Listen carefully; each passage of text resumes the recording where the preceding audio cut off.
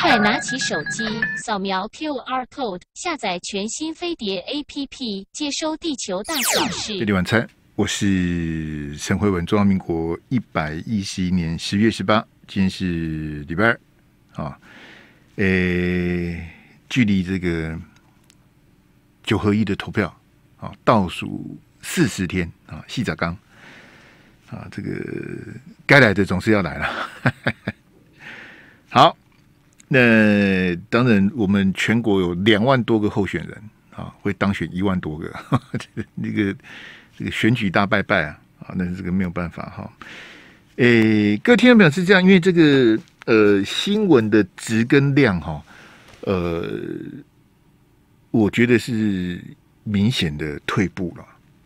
啊，就我我自己在这圈子二十几年来，呃，我觉得这个环境是越来越恶劣啊，啊。那苹果日报倒了，啊，那中天被关台，啊，那网络的一些奇怪的媒体乱窜，啊，都让这整个媒体的环境更加的恶劣，啊，这都是是有连带的影响的哈。之前那个华视啊，不是很多那个跑马灯突锤，把蔡总统打成蔡依依哈，那被函送这个涉违法，啊，法官裁定不罚。法官说：“这个华氏的这些相关的人员哦，没有犯意啊，没有犯意哈。然后呢，没有损害到这个公众，好，所以这个依照社会法就裁定这个，因为它是行政法，哦，那个就不叫判决，那个叫裁定，哈，就是不罚啊。诶，我我当然不是要去追究华氏的这些同业啊，哈，一些前辈什么的，就但是华氏突锤的比例也太高了。”你跑马一直上错，然后一直突锤，你显显然你的副控问题很大啊，就是你的基本功蹲马步都有问题的，你这个新闻台有问题啊。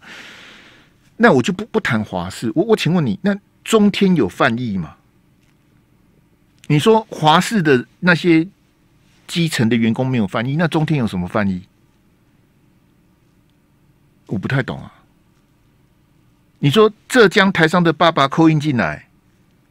然后讲个几句，然后被罚四十万，是中天被罚四十万。我听说浙江台上的爸爸后来是没事啊，但是中天被 NCC 开了一张四十万的罚单。那王佑正他做错了什么？他就接个扣印呢？那他的爸爸替他儿子喊冤说：“我他第一个，他曾经他儿子不是台商，是干部。我记得好像是教教健身还是教游泳的，就是跟运动方面有关的哈。”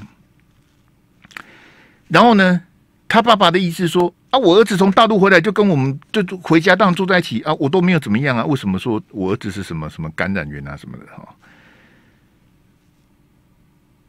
这样陈时中就就办人了，就就中天就收了一张四十万的罚单，然后后来中天就中天就是因为累积很多罚单就被关台了。那我问你，中天有什么犯意？没有啊。那有损害到谁？也没有啊。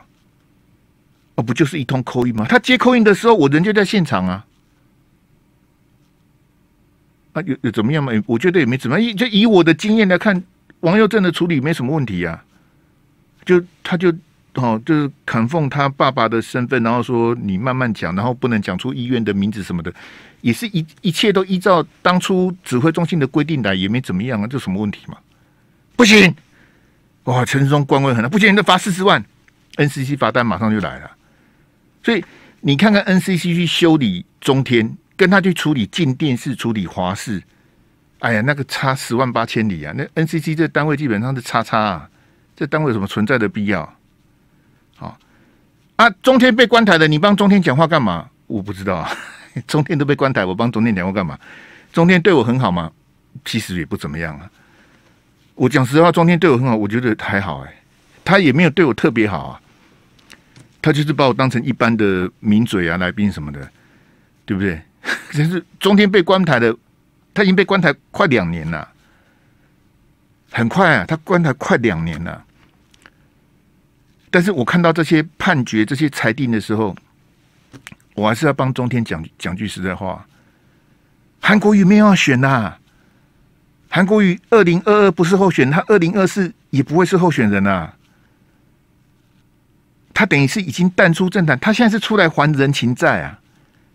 好，有没有候选人圈圈啊，候选人叉叉啦，请他帮忙录个影片啊，站个台啦，募款参会什么的，请韩市长来这个帮忙这个哈。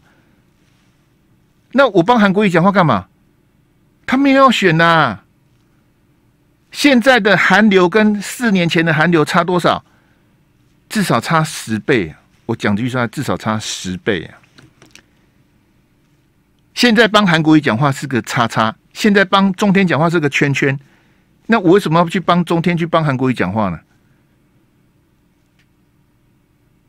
现在不是应该去投靠高鸿安，去投靠郭台铭吗？你应该是借由高鸿安去接近郭台铭才对啊！这这种中南途径谁看不出来啊？但这种事情我做得出来吗？我做不出来啊！我还真不屑做这种事情啊！好，我们第一段要谈审计部，第二段谈柯文哲跟蒋万安，第三段我们要谈高鸿安哈。来，事不宜迟哈，这个大家都看到这个图哈，高端的价格哈，在立法院这个审计部啊。啊，当然去看的不是审计长哈，审计长他们派他们的这个同仁去看这个结算哈。那立委问他说：“高端的价格你看到没？看到了啊，审计部看到了，好看，但是不能讲啊，他不能讲哈。那立委看不到，那问你为什么？就审计部看到的高端的单价，各位听众朋友，你不觉得很荒谬吗？高端没有在全世界任何地方卖，只有在台湾卖啊。”而且高端也卖完了，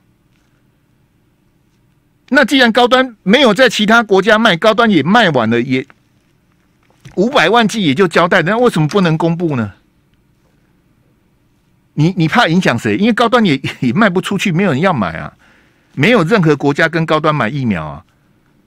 那高端，譬如说我们现在讲这个 B A one B A 五，就是次世代，我们简称简称次世代的疫苗，高端根本没有要做啊。之前我看到那个圈圈呐，啊，我也不要讲是谁，我讲不好意思。他说啊，因为那时候其实很多懒的都是乱骂。他说：“哎，为什么我们指挥中心呢不买 BA 五啊？好，为什么要去买 BA one 哈？那就一直骂，一直骂哈。然后其实，在那个节骨眼啊，就是上个月哈，全世界买 BA 五的只有一个国家，叫做美国。”只有美国买 BA 五啊，那像什么欧盟啊、日本啊那些不啦不啦，他们买的都是都是 BA one 啊，我们买的也是 BA one 啊。好，然后这个这个某人呐，好就就那边瞎掰说，哎呀，指挥中心为什么买买 BA one 不买 BA 五呢？是为了护航护航高端呐。好，因为高端准备要卖政府次世代的疫苗，高端根本没人要做啊。高端根本没有要做次世代的疫苗，他也做不出来啊。好，所以你看到有些媒体基本上都是瞎掰鬼扯。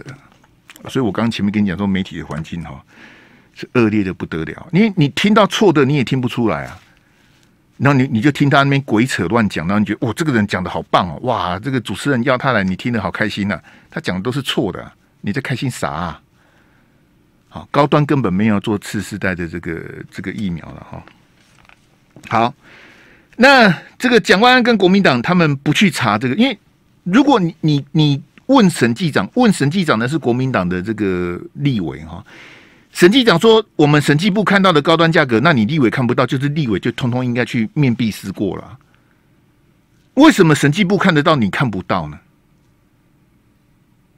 你们立委不如审计部吗？那不是很好笑吗？审计部负责监督政府预算执行。那立委也是啊，立委也要监督政府啊。我我真的对蒋万安跟国民党自废武功哈，我真的非常的哈。好，那我我来念这个给大家听哈，这个是审计部的这个报告哈。他说啊，机关署历次采购的牵办文件，好未见采购价格分析资料及数据，部分采购文件保密期限长达三十年以上哈。这个我我就觉得不晓得在写什么，因为我也不晓得是是不是记者加油添醋，因为没有三十年以上，最多就是三十年了，所以不会有三十年以上啊，没有什么三十年，最最长最长的保密期限就是三十年啊。那什么东西可以保密三十年呢？保密跟保存又不一样哦。好，我就不再做这些解释。我跟你讲，能够保密期限三十年的只有绝对机密。好，我们一般政府的机密文书分作两种。好，一种是国家机密文书，一种是一般公务机密文书。一般机密公务文文书是不重要的，好，就是一般的公文那不重要。那国家机密文书呢？它有分三种：绝对机密、极机密跟机密这三种。机密的保密期限是十年，好，极机密是二十年，绝对机密是三十年。好，那谁可以核定绝对机密呢？只有三个人可以核定，第一个叫做总统。第二个叫做行政院长，第三个叫做总统或行政院长这个委任的部长。好，比如说我是总统，好，我觉得这个疫苗是你在弄，好，那你去核定。只有这三个人可以核定绝对机密。所以，如果审计部讲的没有错，说是有部分的文件是三十年的话，其实我也看不是很懂。因为如果依照我们的规定，就是说，如果你的因为你会有很多不同层级的密件嘛，对不对？好，就是各种机密什么的。只要你这些采购的公文跟疫苗的合约有一个部分是绝对机密的话，那你就是全部都是绝对机密了。这样大家懂我意思吗？譬如说，你有六个公文，其中有一个公，你看你这公文是环环相扣的嘛？那有一个公文有一个部分是绝对机密的话，那你就全部都变成绝对机密了。它的规定是这样。好，那现在问题来了哈，就说这个三十年哈，如果是绝对机密的话哈，那陈时中就说谎啊，陈时中跟这个薛瑞元呐，还有王必胜他们都说谎，因为陈时中说没有啊，他说没有绝对机密啊，就是各位听众们，就是显然审计部的讲法跟卫福部的讲法是矛盾的。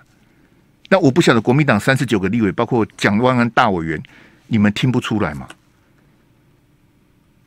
审计部跟你说，有些东西是保密三十年以上。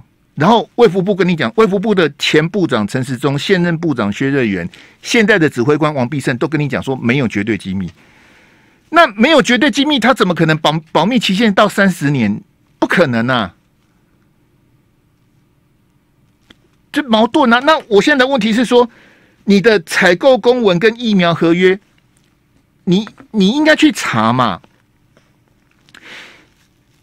国民党立委问审计长说：“你们去看的时候有没有被涂黑？就是因为审计部去查这个决算报告，你们去看的时候有没有涂黑？”审计长说：“没有遮蔽呀。”那如果审计部派人去看的时候是没有遮蔽，为什么立委去看会有遮蔽呢？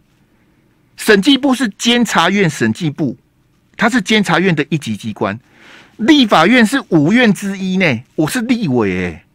你给审计部看的是没有涂黑的，你为什么拿给我看的是涂黑的呢？你、你们、你们这些在位在野党的立委，你们怎么都不生气呢？我在旁边看，我都气得要死了。你们怎么一点都不生气？我自己都觉得好奇怪啊！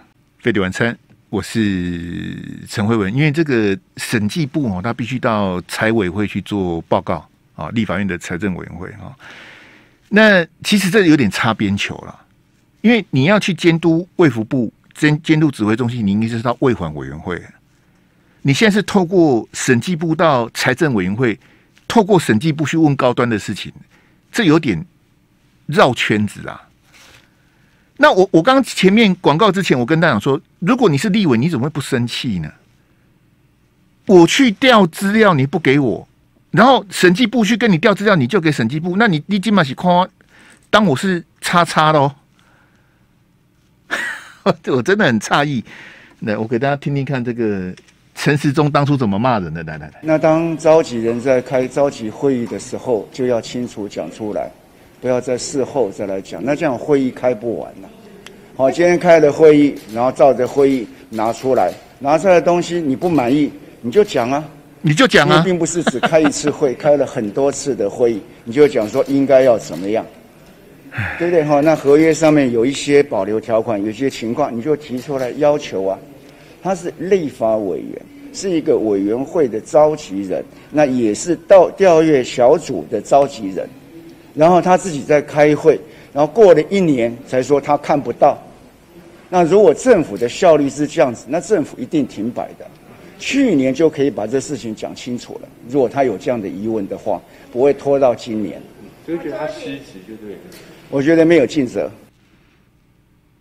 被蒋万被陈时中骂没有尽责，我们来听看蒋万后来的回应是什么来来。当时我们在立法院成立疫苗调阅小组，我是召集人，我是主席，所以我最清楚。当时陈时中的态度是：你要么就是涂黑，看这些遮蔽；要么你什么都看不到。对我们在野党来讲，我们能有什么选择？结果我们看到的是涂黑三分之二的采购合约，这就是黑箱。为什么要涂黑三分之二？蒋万安，那为什么审计部看到的都没有涂黑呢？你是卡细汉哦，审计部看到的都是没有遮蔽的啊。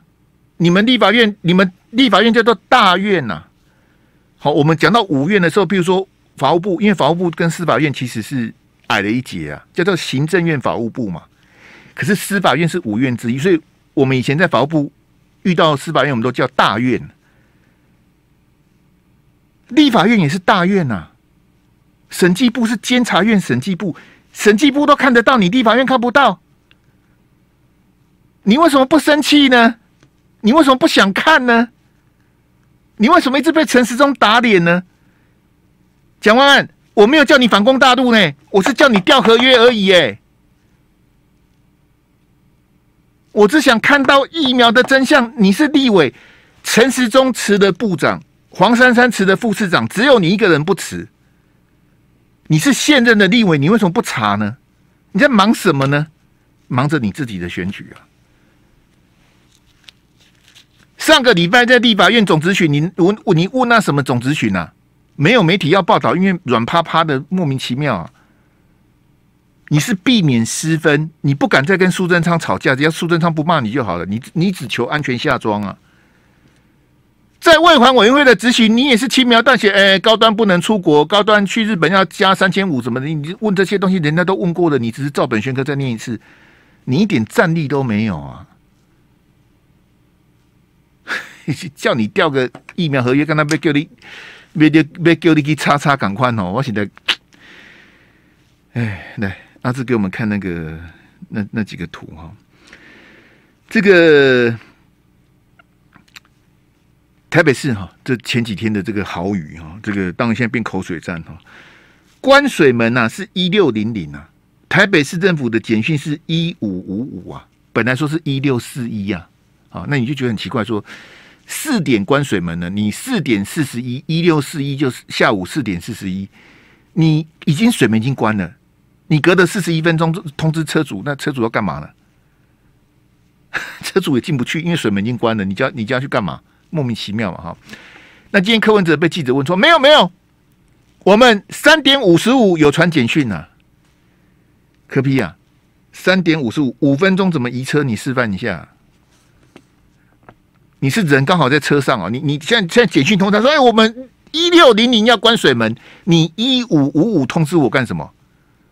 我讲实在，我开玩笑，那你不如不要通知我，你通知我，我心里不是给港口哎，你不如不要告诉我好了。让我车子直接泡水就好了，五分钟谁赶得到啊？那我不晓得你台北市政府在干嘛，根本就不是什么一级开设、三三级开设的问题，那个不重要。柯文哲，你不是自最自豪有 SOP 吗？哈，今天有台北市议员爆料说，不是只有车子在宝百灵桥受困，不是只有车子泡水。说还有十几个人受困呢，我我们的民众，台北市民被关在水门外面，那你台北市政府在干什么啊？你不是开口闭口，我听你讲 SOP，听你讲了八年了，我也腻了。我今天跟学姐同台问她说：“那是你的选区吗？”她还跟我说：“是啊。”那你在干嘛？百灵桥是学姐的选区啊！啊，拎拎科批洗地冲下，跑去浮选了。哎，我们这个有 SOP，啊，这个不要作秀啊！是啊，那那那你基本的要做好啊。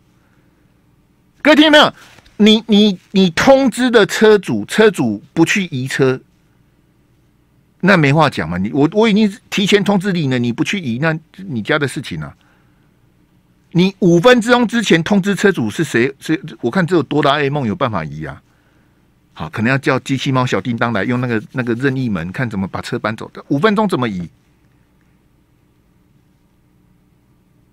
那你的 SOP 在哪里呢？你不是最自豪什么什么什么？乐色不分蓝绿，那摆的有比较好吗？你当了八年的台北市长啊，十二月就八年了，现在已经十月了。啊，你你五分钟叫大家移车，那当然是国赔啊！柯文哲昨天讲什么？不能什么事情都怪政府。哎，我刚讲的，你提前通知我，我不去移车，那是我怀疑干不完啊！你五分钟之前通知我，我要怎么移车？我当然是去打国赔啊！我跟你讲，国赔台北市那种是温书威啦，这个这个这个国赔的官司怎么打？我都不晓得这这几这几到底几例哎。各位听众，我跟你讲哦，我刚刚就讲说媒体的大环境这个急速的恶化哦，要不是那个那个台北市议院讲，我不晓得有人被困在水门外，因为没有人写啊。你你你一眼望过去，本来以为这这个就是车泡水嘛，就百灵桥的那个那个那个水门外那个停车场，说有什么几十台的车泡在水里，你比方说那就是可能就是这个泡水车啦，哦，装古车相关的那些什么哦，社会新闻。消费新闻写写，今天是有台北市议员爆料说有民众受困。我想说，你车子泡水就算了，为什么会有民众被关在外面呢？那就是就是你台北市政府，你相关单位去关水门的人，你就是把门关起来，你外面有没有人你也不管啊？你就当如果看到好多车子，我就当做他没人了。啊，如果如果淹死了，因为你水门关起来了嘛。啊，他他他进不来了。他如果如果刚好怎么好什么什么什么这个雨更大的啦，什么水冲进来的什么啊，人死了怎么办？我也不知道怎么办呢。怎么怎么怎么还得意洋洋？就就是就是有人要帮柯文哲辩护啊，有人帮柯文哲擦脂抹粉啊，就觉得柯文哲一定要选总统，一定会比较好。我我是看不出来会会哪里比较好啊。啊柯文哲今天很得意哦，他说：“哈，柯文哲无所不在啊，很自嗨。被被问到最后，他很自嗨，因为基本上，如果我是记者，你跟我讲说三点五十五通知简讯的时候，我很牛，我早就给你扒了呀。市长一六零零通知关水门，一五五五发简讯，你传给谁呀？啊，你简讯发给多大 A 梦啊？我我绝对很牛啊，吐槽五分钟怎么移车啊？”我看现场记者大家都坐在那边呆呆的，您基本上写在那，你们五分钟有办法移车？你们会开车吗？还是现场的记者刚好都不会开车？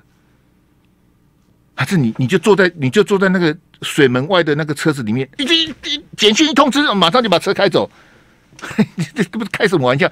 不可能，它是有个 SOP 的，叫做六三二原则，六个小时、三个小时、两个小时，它是有规定的。所以柯文哲，我们是有 SOP 的，是你没有照 SOP 走啊？这样大家懂我意思吗？你你你提前通知的车主，车主不来，那是你家的事情啊。我简讯传给你呢，你六三二，你六个小时、三个小时、两个小时，你都不来移，那我就是把车调走。各位听众们，你懂我意思吗？不是让，不是眼睁睁的看他泡在水里，是我通知你移，你不移，我就叫拖吊厂把车调走，因为。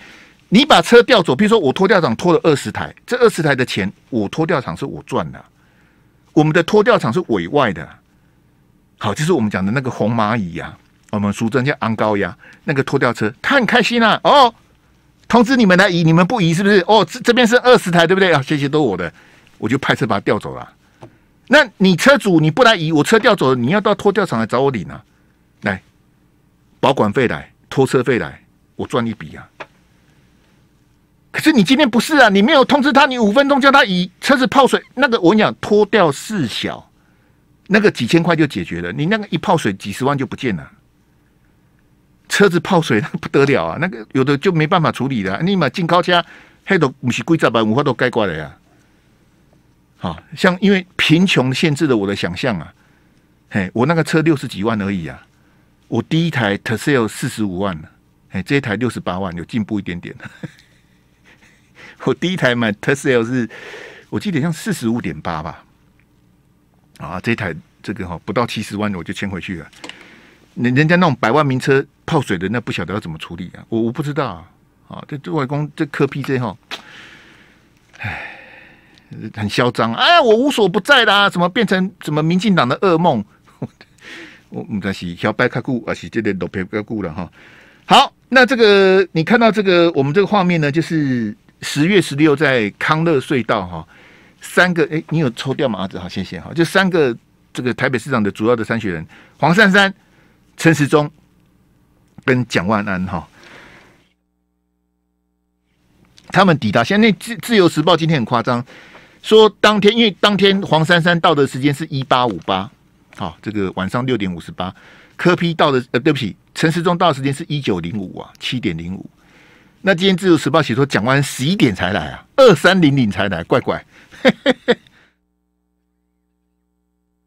啊，自由时报是这样写，但是我采用的是 TVBS 的版本。好，TVBS 说蒋万是二一零零来的，晚上九点来的。啊，那他已经连续被问说，那你为什么迟到两个小时？他讲完都顾左右言他。他就直接掰说啊，我第二天一大早就去什么大湖里啊，什么什么就去看灾什么的哈，他就不愿意回答哈。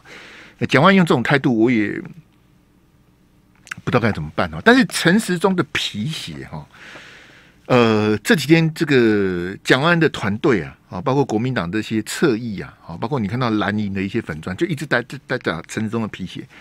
那我我也在脸书跟大家说，这个皮鞋的梗，伟汉上个礼拜用过了。说陈时中跟那个什么林佳龙他们去骑脚踏车，然后陈时中穿着皮鞋骑脚踏车，伟汉就批评他。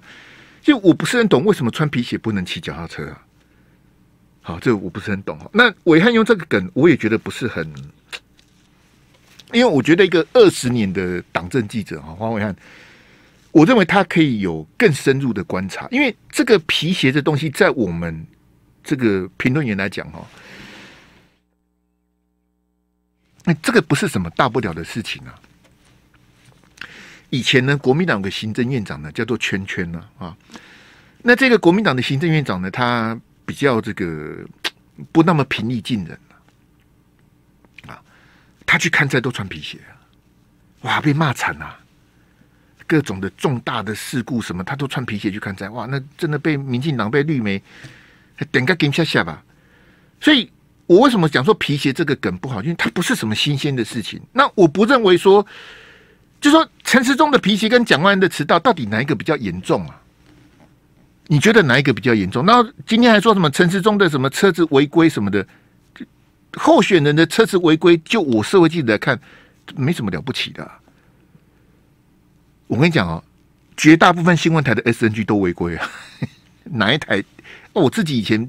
低低调度这代级，我那也不在。我我觉得没有那么重要啊。好，就说陈时中穿皮鞋，陈时中的车子违规，违规就罚钱嘛。穿皮鞋，我觉得你们去攻击他，但是你们要转移蒋万安迟到的焦点。那蒋万安迟到呢？我也觉得还好，因为他不是故意的嘛。就说假设我已经知道这个这个这个康乐隧道已经这样子的，那假设我已经知道黄珊珊一八五八到，陈时中一九零五到。假设我知道了，那我一定想尽办法在一九三零之前赶到，对不对？就说，哎，黄珊珊已经去了，哎，陈时中也去了，那我还在。我跟你讲，蒋万安距离那个康德隧道哈十分钟，他人就在内湖啊，所以没有很远呐。好，所以我说，我认为蒋万安的迟到不是故意的，是蒋万安个人跟他的团队出的问题啊。就是你的警觉心不够嘛？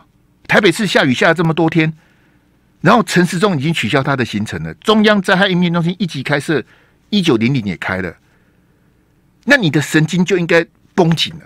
哎呦，这个可能有灾情哦，虽然没有路上台风警报，可是雨连续下几天这样子，你你没有那个危机意识。这我跟你讲，重点根本不在那个皮鞋。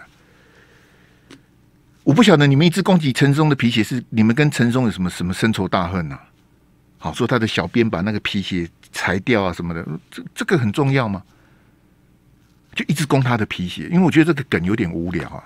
那蒋万为什么要迟到？我我我想他迟到，我认为他迟到也不是故意的，就是他的团队包括蒋万本人没有把神经绷紧了，想说，哎，民调赢十几趴哈，这样子应该是当选了。哎呀，陈时中像红酒啦，黄珊珊像西瓜啦，我都被你啊。然后说陈时中是天兵呐，对国际事务茫然无知啊什么的，你怎么把人家骂那么难听呢？是你要当台北市长的人，你你因为你现在民调是领先呐，你就不应该再去攻击别人了，你就维持你的领先，你就赢了。你去骂别人干嘛？就我对蒋万安的这个，那你看他之前讲说周玉蔻跟陈时中小两口，我是认为应该道歉了，因为周玉蔻他。呃，他的婚姻比较哦，他的感情生活比较哈，就这几天的新闻大家看到，他比较复杂，我用复杂来形容。那这个陈时中是有家庭的人，他已经当阿公了，然后他太太是很有名的这个音乐家什么的。那你说陈时中跟周玉蔻是小两口，这个比较，我认为是不妥了。不管是对陈部长也，或是对扣扣姐而言，都不公平嘛。你为什么说我们是小两口？好，那你说万华是破口，你也讲错了。万华破口是次长讲的，你为什么赖给部长呢？那你看灾迟到的，你为什么不道歉呢？我我我对蒋万，你是有免死金牌吗？你为什么都不道歉？你你就道歉就好了。你说啊，那个这个到达康德隧道的时间，好，两位前辈都比我早哈。那这一点，我跟我跟我的团队，我们要来加强。好，我不是故意的哈，我人就在内湖，但是我的这个讯息比较没有那么的及时。这不就结束的吗？啊，万华破口就啊，我我记错的是是次长讲的，那我跟陈部长那不就解决了吗？各位晚餐，我是陈辉文。这个我第一段在讲陈部长的那个陈时中的那个高端嘛，还有整个疫苗的这个采购。第二段在批评蒋万安，他一直不道歉哦。所以各位听众朋友，现在答案很清楚了：批陈时中，批蒋万安。所以我是在帮黄珊珊拉票嘛，对不对？你第一段骂陈世忠，第二段骂蒋万安，那就是帮黄珊珊了。啊，如果你的逻辑是这么的简单，我也没有办法啊。啊，黄珊珊呢，我有十十个字当做我的这个点评哦。成也柯文哲啊，败也柯文哲。好，那黄珊珊就是加油吧。啊，我们要帮任何人。那因为台北市长总共有十二个参选人。会当选的应该就这三个的其中一个了。好，蒋万安、陈世忠跟黄珊珊。那我是觉得说，你你不管说你当名嘴了，或者你当立委，或是你当台北市长，你比如说像像马英九、蔡英文也好，你不可能柯文哲就不用谈了。柯文哲是太好笑了，我觉得你不可能每件事情都说对，你也不可能每件事情都做对，那是不可能的。所以我认为谦卑的道歉是很必要的。我也曾经骂错林志坚呐，我骂错了，我就道歉了，你不就解决了吗？啊，我不是故意的啊，我引述来源，然后我误认他是真的，结果我骂错林志坚，我就道歉了。我有去牵拖那个报纸吗？没有啊，就算我的。那林志坚接不接受那他事情？但是我诚恳的跟他道歉，我脸书我公开道歉，我我骂错了我就道歉，这没什么了不起的。我也会骂错，我也会讲错啊。那为什么不道歉呢？你说万华破口是陈志忠讲的，明明就不是他讲的。讲完后来硬凹，哎，是陈时中的团队讲的啊。这样子你也要凹？我是要告诉大家，因为蒋万安他有可能会当选。他如果当选，他是四年的台北市长。如果你用这种心态执政，不是只有蒋万有苦头吃，整个台北市都有苦头吃啊。他今天还批评陈志忠说啊，他穿皮鞋，因为他这个当明代的经验不够。那你你当明代的经验有很够吗？你才当六年的立委，你一年的市议员都没当过，啊你的经验是最差的啊。黄珊珊当市议员当二十一年了，二十一年你没有听错，黄珊珊当副市长当了三年了。我认识他很久了，黄珊珊以前也经常跑。电视通告比较早之前呢，哦，他在别的党的时候，我很早就认识他。他当台北市议员我就认识他，立马好了。是没有没有，我连带都没有，就没有没有，因为我跟政治人物很少有联络的，就大家点头之交，上电视，你你来打你的知名度，我赚我的车马费，大家也就交代了。唉，我我现在跟你讲，另外一个可能会当选的人啊，叫做高鸿安。好，谢谢阿志，我们来换标哈，高鸿安哈。那我刚刚前面讲那个审计部没什么人谈了，好，那我讲这个陈时中的皮鞋跟蒋万的持刀也没什么要谈了，好，那我现在要跟你讲的高鸿安呢，恐怕全国就我一个人谈了，没关系，我一个人来哈。这个初选呐，啊这是二零一九年啊，国民党的总统党内初选的这个啊，郭台铭他是非常的不高兴啊，他一直认为他是这个输的冤枉啊。他本来承诺他要支持初选赢的人，他后来他食言而肥。郭台铭经常告人呐，但是各位听众朋友，我有在怕的吗？我没有在怕的。郭台铭，你放马过来啊！我讲错了，你告我，我无话可说啊。但是我要告诉大家，我哈在这圈子混了二十几年，你要我讲错是有点难呐。好像林志坚那种，我被。误导那的错的，我会承认。我讲郭台铭，讲高鸿安这个哈，我不会讲错的。你听我娓娓道来哈。那你看这个画面哦，这个这个我要跟大家解释一下，这不是我刻意去调的，这个是三立的新台湾加油，他们去把他们二零一九年的存档调出来。这个影片不是我调的，因为我没有三立的片库，他们才有啊。那他们抓了一段二零一九年高鸿安呢，他这个。在操作换鱼啊，啊，他们那时候不是发明那个叫做调和式民调吗？然后高鸿安呢，就是这些郭台铭的这些幕僚呢，就去立美讲说啊，韩国瑜一直自爆哈，韩国瑜 GG 的，韩国瑜完蛋了。然后他就讲说，所有国民党的立委跟所有的国民党人呢，都希望郭台铭出来，韩国瑜选不上了。这是二零一九年九月的事情了。你现在看到的这个截图是二零一九年九月，高鸿安在三立的新台湾加油。他说，所有的国民党立委跟所有的国民党人都知道韩国瑜完了，然后郭台铭要让郭台铭出来选才有机会。他想要换鱼啊，啊，那我要告诉高洪安哈，这个因为这个无头公案，我认为二零一九年九月。在三重大造势这么成功的情况之下，如果立刻投票，我认为韩国瑜会当选。我认为啊，你看那个六十万人的那个把二重疏洪道挤得满满满这样子，我认为那时候投投票韩国瑜会赢的。好，那他在三地讲说应该要换鱼啊，他是这样讲哈。所以我我刚各位跟各位讲，就是说这个高鸿安在这个三立的这个节目呢。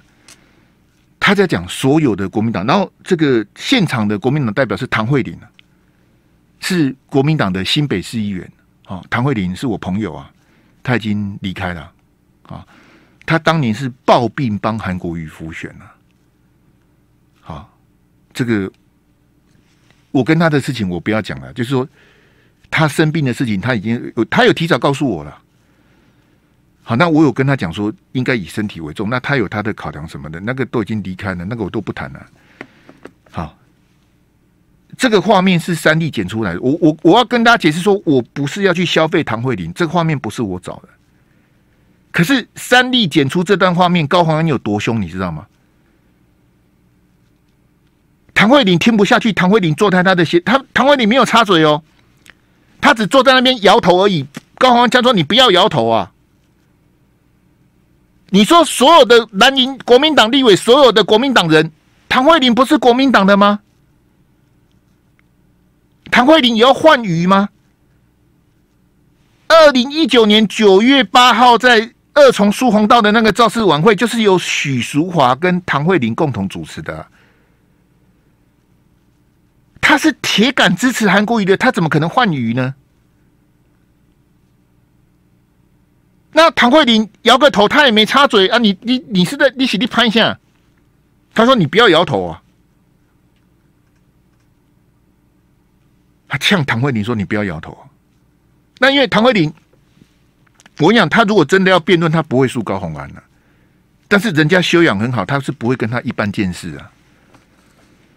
高红安那边左一句，所有的国民党立委，所有的国民党人，上一夫。上公啊，我们都叫他上公啊。上一夫是非常资深的党政记者，他在跑新闻的时候，我还在念书啊。他比我还资深啊，资深很多啊。上公在旁边听不下去，呛高鸿安说：“你用词要精准一点。什么叫做所有国民党的立委，所有国民党人？怎么可能？现场唐慧颖都听不下去的。高鸿安就是这种人啊，睁眼说瞎话的人啊！所有国民党的立委都要把韩国瑜干掉，所有的国民党立委都希望换瑜，由郭台铭来瓜带韩国瑜去选总统。”是吗？高鸿安是这样子吗？你是睁眼说瞎话，你是高莱尔啊！高鸿安，你就是个高莱尔啊！所有的国民党人都要把韩国瑜换掉吗？唐慧玲就不是啊，王宏威就不是啊，叶元之就不是啊！我才不相信他们几个会想换韩国瑜，他们跟韩国瑜好的很呐。叶元之那个时候是韩国瑜的发言人呐，大家记得吗？叶元之突然跑去高雄做那个什么？那个是什么游艇啊？什么东东的什么的啊？啊！叶元之是韩国瑜的发言人，然后你觉得唐慧玲、王宏威、叶元之这些人是会把韩国？他我们我们二零一六换注哈，输的鼻青脸肿。我们二零二零再来换鱼，再输一次，同样的错，我们再再犯一次，然后让高鸿安你的老板郭台铭去选总统，你要的是这个啊？你图的是这个嘛？你是在帮郭台铭讲话？你是攻击韩国瑜啊？我有讲错吗？你在绿美各台不是这样子消遣他妈？个考试个羞辱，骂韩国瑜，骂李嘉芬，骂韩粉，说支持韩国瑜的都是僵尸账号，我看起来像僵尸吗？啊，僵尸还会骂人哦？高鸿安，你是什么嘴脸？所以我跟大家讲哦，来阿志来最后一标来，请所有的蓝军跟韩粉哦，你不要投高鸿安呐！我我是没有时间去跟你讲新竹的这个民调，我们会再讲，会有时间讲。你每天锁定飞碟晚餐，我会讲给你听。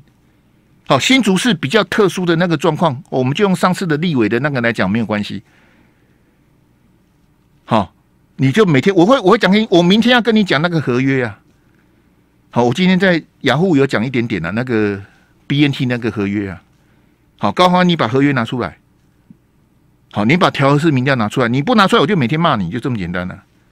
谁怕谁啊？乌龟怕铁锤啊！换语谁要换语？只有郭台铭想换语啊，不是这样子吗？就输的不甘愿。哎呀，这个民调怎怎么这样子？我怎么会输了什么的？我的一个输掉没干完呢？啊，都他就一直想要把韩国瑜干掉啊。所以郭台铭去找谁？去找王金平嘛？去找柯文哲嘛？对不对？这不就是二零一九年发生的事情吗？大家都历历在目啊。那高鸿安，你在这段时间你扮演的角色是什么？就是你弄了一个调和式民调，我就公开挑战你调和式民调。你你把所有的资料拿出来，跟大家证明调和式民调是真的，我才不相信呢。所有的民调专家都没有听过调和式民调，就如同所有的专家都没有听过校正回归。Ladies and gentlemen，没有校正回归这个东西，也没有调和式民调的那个，没有人听过啊。高鸿安，你就是瞎掰啊！调和式民调，所有的人都输，冷卡都、沙卡都、细卡都，通通输。只有郭台铭一对一跟蔡总统对决的时候，只有郭台铭会赢啊！其他的排列组合都是蔡总统赢，只有全部的人都滚蛋，只有郭台铭一个人跟蔡总统一个人对决的时候，只有郭台铭会赢，其他人都输。你你你听你老板讲话讲到这样子。也难怪郭台铭这么喜欢你啊！但是你讲的调和民调和式民调是真的吗？你自称是大数据专家，民进党质疑的是你的论文啊，但是论文我不会写啊，我只有大学毕业啊。好，我我我也不知道你的论文是真的还是假的，就我看不懂啊，请你把调和式民调拿出来，你来证明你二零一九年在各台讲的调和式民调是真的，你来打脸我。反正我脸本来就很肿了，你来打点我没关系啊。我现在跟你讲的不是新竹市长的输赢啊，就如同我刚跟你分析台北市长蒋万安有可能会赢啊，他赢了我也祝福他，因为如果蒋万安赢的，就大家就是你就得接受嘛，不管你是不是台北市民，不管你有没有投票给他，他如果票最多，他就是台北市长啊，All right？那高鸿安也是一样啊，高鸿安你有可能会当选，你当选我也是对不对？也是祝福你，你就好好做嘛。但是你先告诉我调和式民调是什么？你先告诉我，真的是用台湾 ROC 跟大陆签约吗？有可能吗？以我一点点的新闻经验判断哦，我认为高鸿安这两件事情都是说谎的。我认为高鸿安，如果你没有办法证明你的调和式民调是真的，如果你没有办法拿出合约，红海跟香港复兴买 BNT 的合约是用台湾 ROC 签。你如果没有办法证明这两件事情是真的，我认为你应该退选了。为什么？因为你说谎啊！你别差了，你就是为郭台铭服务嘛。如果你说谎，你为什么不退选呢？我的标准一样啊，陈时中，你高端如果那个绝对机密你是说谎的，那你退选呢？你怎么？你还有什么资格当台北市长？你都你你都可以这样子当众欺骗所有的人了，你有什么资格当台北市长？我认为你连参选的资格都没有啊！高黄也是一样，高黄你你你如果没有办法证明调和式民调跟那个 BNT 的合约，我认为你应该退选啊！你你做人根本有问题呀！你利用利用 pen 哦。你用凹的就对了。哎呀，所有的国民党立委，哎呀，所有的国民党人都希望韩国瑜被干掉，都希望郭台铭来选。谁跟你讲的？上一夫都看不下去的。唐慧玲在现场也看不下去啦。你还叫人家不要摇头？不然高红安，你你告诉我，二零一九年九月，所有的国民党立委都希望韩国瑜被换掉，你证明呢？你证明呢？你证明你讲的是真的？二零一九年九月，所有的国民党立委都希望韩国瑜被换掉。我跟你讲，许淑华就不可能了。南投的立委许淑华跟韩国瑜这么好，他会希望韩国瑜被换掉？一起叉叉吗？韩国瑜过几天要去帮他站台了。我敢讲，是我没有在现场。我我如果在现场，你就惨了。我告诉你，这唔知我也要请几号诶。上电视画无烂，不要投高红安，拜托大家。